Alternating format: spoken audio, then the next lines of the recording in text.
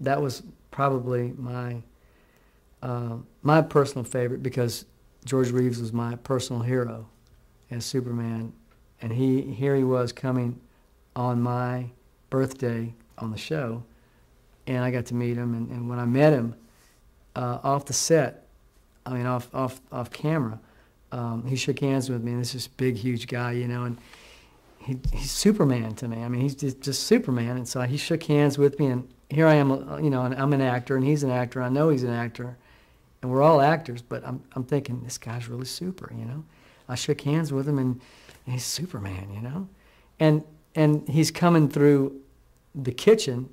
There there was a um, blinds in the kitchen, and he, he had a ladder, and he bust through there.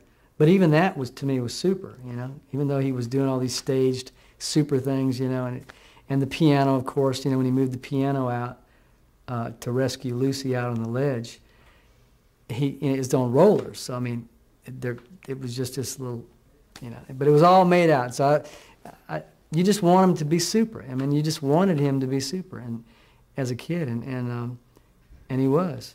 And when he actually passed away, my dad knew I loved him so much. As far as you know, just he was my hero.